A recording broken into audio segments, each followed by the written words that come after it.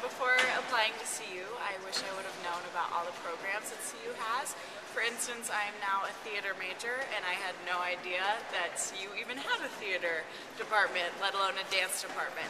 So there are tons of programs available at CU that you can major in, minor in, get a certificate, and I wish I would have checked all that out because I think it would have gotten me even more excited during the application process, and thus I would have been able to be more myself during the essay.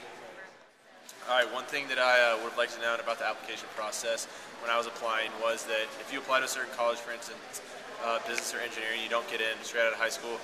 Um, once you get to CU, you're allowed to transfer um, within the university. I think for a lot of students, that really make, makes or breaks their, their college decision. So I think knowing that ahead of time would have been really helpful um, for me in making my decision on where to go to college. Times it can be hard for students to pick which college they want to go to. So I applied to CU, and then I came out and took a tour with my family. I actually did a BSc Boulder Student for a day. And after that tour, I knew that I wanted to come to CU. No questions asked. It's a beautiful campus, and I couldn't leave. All the programs, all the social activities. So I think definitely taking a tour made it